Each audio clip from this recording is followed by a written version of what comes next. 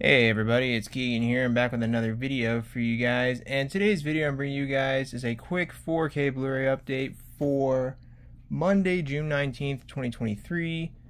And for today's update, I got one 4K Blu-ray to show. And this is actually the first 4K Blu-ray that I've bought in, in that I've bought in months, and also the first 4K Blu-ray that I've bought this year. I know I haven't bought any 4K Blu-rays in months. So this 4K Blu-ray I bought at Sunrise Records earlier today. So this is just going to be a pretty quick update. So without further ado, let's go ahead and get started with the update. And the first and the 4K Blu-ray we have here is the 2022 4K Blu-ray release of Raging Bull. This is a 1980 film starring Robert De Niro, and it's a Martin Scorsese picture. And uh, this is my third Criterion 4K Blu-ray that I own. The first two being The Piano and Lost Highway. Here's the spine, and this is spine number 1134. And the back. And uh, there are some special features here. If you want to read it about to yourself, just go ahead and pause it.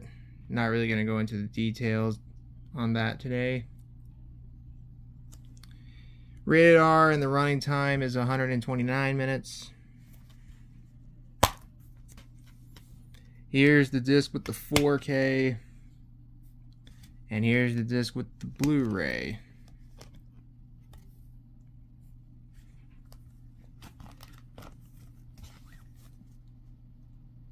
Comes with a little booklet here, but we're not going to go through that in this video.